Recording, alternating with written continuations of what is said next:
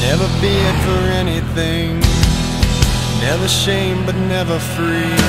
A life that healed the broken heart With all that